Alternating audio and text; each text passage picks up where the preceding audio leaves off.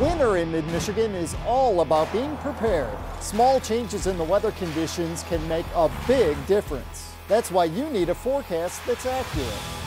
Stay ahead this winter with the First Alert Weather Team, preparing you days before the storm. So whether it's a foot of snow in Jackson or below zero wind chills in St. John's, we'll be the first to alert you. No matter where you are. The First Alert Weather Team, only on News 10.